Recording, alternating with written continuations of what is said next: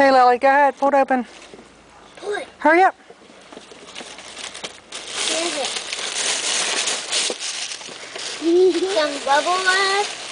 Bubble wrap? And this. What is it? Ah! Yes! The Mr. Bones trophy! and bubble wrap.